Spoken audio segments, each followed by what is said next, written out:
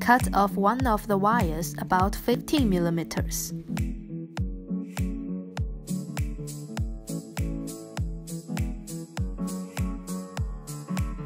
Determine the appropriate length according to the depth of the plug.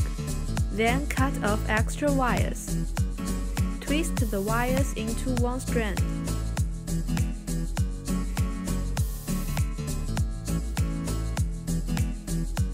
Put the casing through the wire. Loosen the screw by a screwdriver.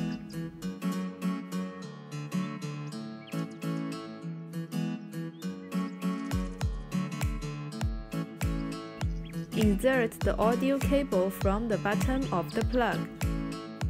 Tighten up the screw.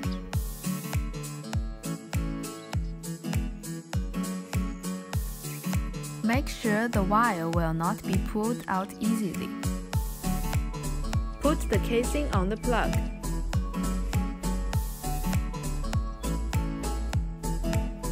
Repeat the connection steps above on the other side.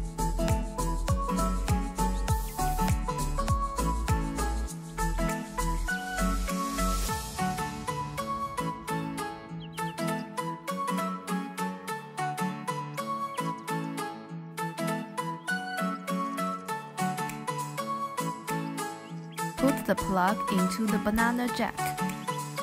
Finish.